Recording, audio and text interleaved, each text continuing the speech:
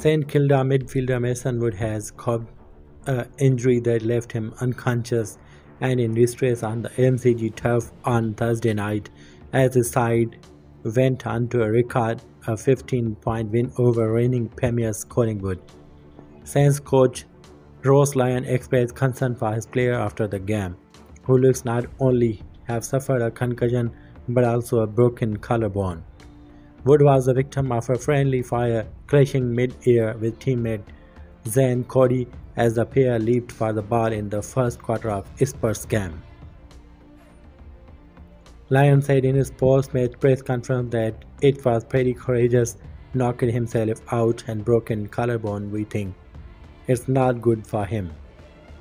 Saints medical staff rushed to the Woods' aid forcing him onto his side.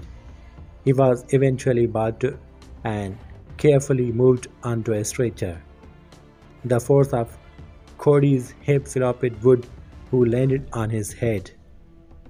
Teammates were seen rushing over to the medical car as Wood was taken to the rooms. He was seen talking to medical staff and moving his arms as he was driven away.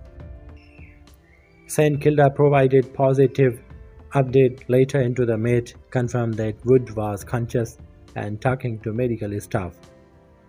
Vision also emerged showing Wood being wheeled away into an ambulance with his shoulder also in ceiling after the brutal fall.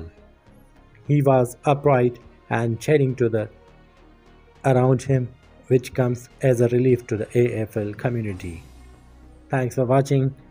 Stay connected for more.